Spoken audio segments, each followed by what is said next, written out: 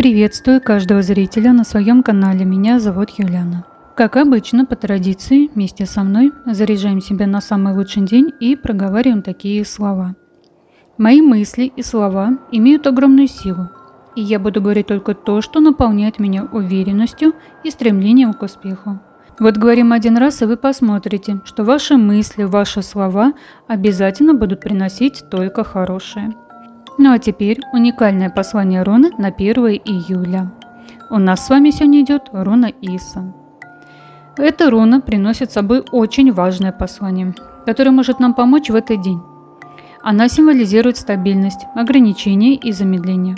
Она напоминает нам о важности терпения и способности приспосабливаться к изменениям в окружающем нас мире – в этот день руна призывает нас замедлить темп, остановиться на мгновение и внимательно оценить ситуацию. Возможно, у нас есть потребность в отдыхе и восстановлении сил.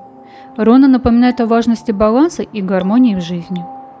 Она также призывает быть готовым к переменам и не бояться адаптироваться к новым обстоятельствам. Возможно, в этот день понадобится принять некоторые ограничения или приспособиться к непредвиденным обстоятельствам. Важно помнить, что каждая ситуация может представлять собой возможность для роста и развития. Послание Рона на этот день идет такое. Будьте гибкими, терпеливыми и открытыми к переменам. Не спешите, дайте себе время для отдыха. Прислушайтесь к своим внутренним ощущениям. Доверьтесь своей интуиции. Используйте силу руны в течение всего дня.